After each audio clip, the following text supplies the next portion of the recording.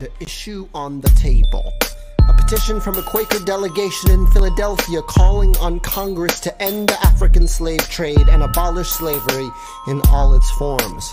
This petition was written and signed by Benjamin Franklin. It cannot go ignored. If this comes to a vote in Congress, what is the White House's position? Secretary Jefferson, you first. Tread lightly. Sir. The Constitution clearly states that the states have to wait until 1808 to debate on whether to end the slave trade. And whether or not you want it, guys, that is the final compromise we made. Sir, wait. But for a second, let us say that we can legislate unanimous emancipation. Freedom reigns, and yes, it's great. We cannot cure prejudice or righteous desperate hate. So back to Africa, or do they get a separate state? In 1784, I tried to float banning slavery in the West. My notion didn't get a single vote. Slavery's a sin, it's growing like a cancer. But we can't address a question if we do not have an answer.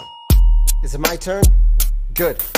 Plantation states are packed with promise makers. Do you realize the precious time these legislators wasted? Institutionalizing slavery only multiplies our troubles. Wait till the 1800s and the population doubles. You all know this is a stain on our soul and democracy, a land of the free. No, it's not. It's hypocrisy to subjugate, to humanize a race. Call them property and say that we are powerless to stop it. You not foresee, sir, even you. You have hundreds of slaves whose descendants will curse our names when we're safe in our graves. How will the South find labor for its businesses? How will Thomas Jefferson find his next mistresses? How dare you? Still, people follow like lemmings. All you hemming and hawing while you're hee-hawing with Sally Hemings. That's enough.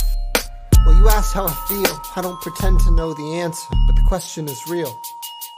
If I may, Mr. President Madison, let's take this moment to establish a precedent. First of all, sir, we won't involve you in this. Imagine this debate with all of Congress is ruinous. I'll reassure the South 1808 is still the year that was agreed upon. That buys us time and assuages fear.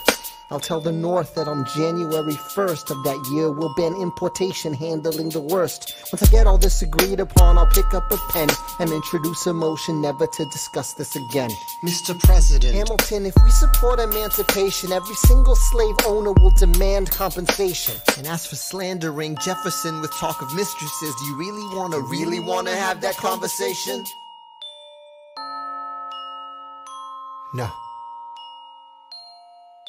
Madison, execute your plan to the letter. Let's hope the next generation thinks of something better.